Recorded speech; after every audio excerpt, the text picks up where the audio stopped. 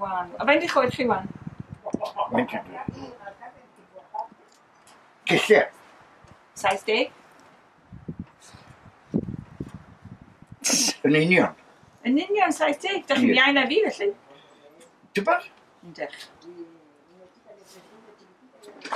Profwch, faint ydy'n oed i?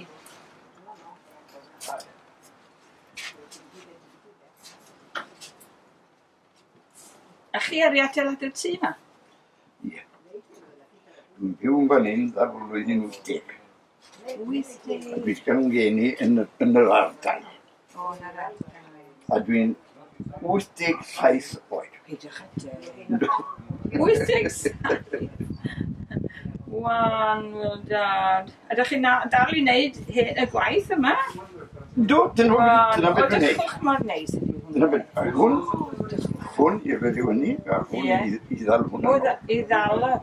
Dat bedoelde men, dat de kwinsen, maar ze gewoon niet voor hem Als je door een dan nou, was het niet meer een piet. Een piet. Ja. Ik design die hond. Ja.